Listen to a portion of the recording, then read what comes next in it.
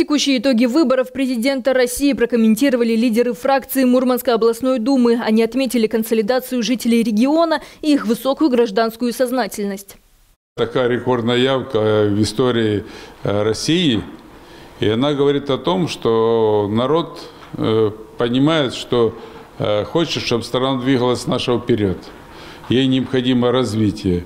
Чтобы управлять страной, необходимый лидер. Хочется людям стабильности, поэтому а, люди за это и проголосовали. Но вместе с тем я хотел бы подчеркнуть, что а, практически все кандидаты взяли себе на вооружение пункты программы КПРФ. Партия «Новые люди» в регионе показала отличный результат. Сегодня можно говорить, что у народа есть запрос на новое, на свежее. А, я на дебатах говорил, что партия «Новые люди» в основу своей программы ставит человека.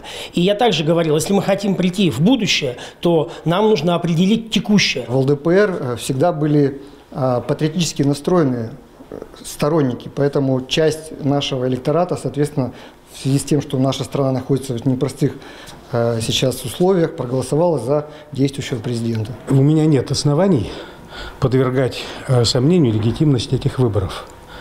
Вот э, сам был на избирательном участке, видел блестящую, хочу сказать, организацию выборов. Даже другого понятия не хочу употреблять. Нужно иметь не только профессиональные навыки, это масса, так сказать, набор качеств.